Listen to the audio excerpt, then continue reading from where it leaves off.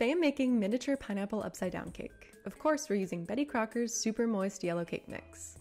I'm filling each ramekin with a bit of melted butter and brown sugar, and then I'm creating a decoration inspired by the recipe card library photograph, with half moon shaped pineapple slices, which will make these cute little butterfly shapes. Of course, I'm decorating with maraschino cherries and pecans, and then we just gotta mix together our cake batter. It's really easy. You follow the package instructions, but you use pineapple juice from the can instead of water.